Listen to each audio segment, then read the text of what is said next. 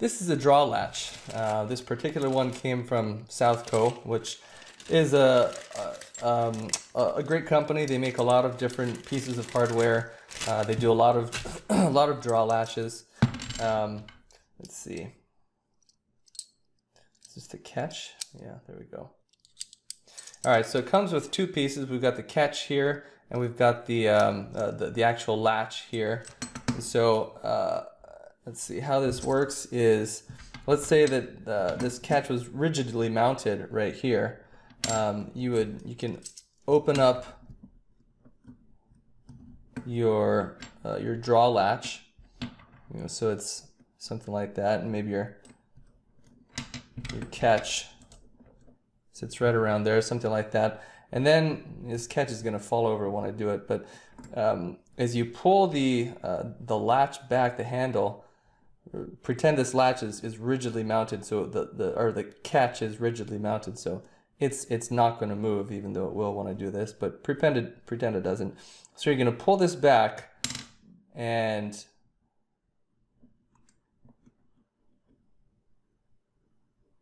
yeah it, it it it well it's called a draw latch because it draws your your your latch back or your, your catch.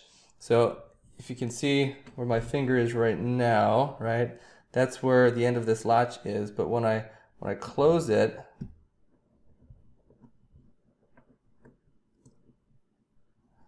doesn't move very much. Yeah, I'm not doing a very good job holding it in place either.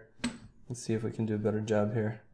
Okay, so the end of that that latch is like right here. The the tip of this is like a wood grain interface there.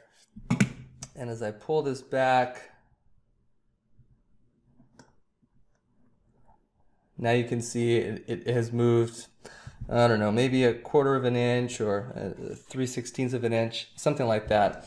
But, but that's how a draw latch works. And this, this curved uh, member right here, that will straighten out a little bit. It might not be perfectly straight, but it'll straighten out a little bit and there's going to be tension in there. So as you as you pull that that uh, uh, latch closed, you're going to encounter resistance pulling right here. Resistance because you know this end is is hooked over against some rigid catch that's not going to move, and and you're pulling it down, and and this is going to start straightening out a little bit, and you're going to feel that resistance, and and then it's going to kind of lock in place, um, and at that point, uh, your uh, you, your draw latch is closed and you're you've securely latched whatever it is that you're latching. Uh, let's see, we'll maybe see if we can take a look inside and see what this looks like. Um,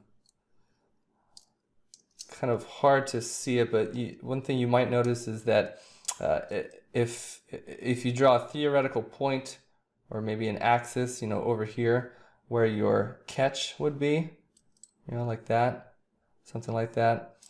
Uh, there's going to be a, a, a, horizontal line between this pin right here and uh, between that catch. And when you, and this, this pin, by the way, is the, this is the pivot axis right here, right? So this, this whole latch pivots about that axis. And as you close it, you'll notice that, that this pin right here, which is where the latch is attached right here to the handle, right? That is, is when it's fully closed, that, uh, that pin is going to sit maybe somewhere around here. So it's beneath this pin. And that's important because uh, this, this is what keeps the latch closed.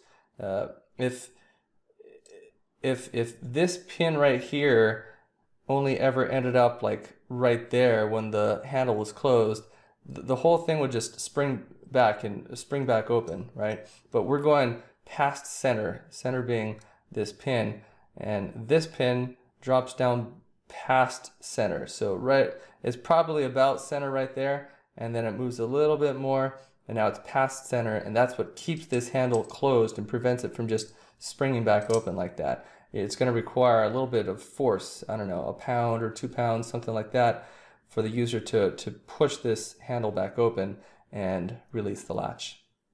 And that's how uh, draw latch works.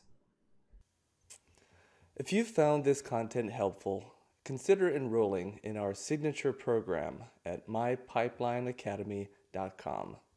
Whether you're an individual interested in beginning a new career as a mechanical designer or a company interested in training your new engineering hires, our signature program helps students develop the practical skills they need to be productive mechanical design engineers.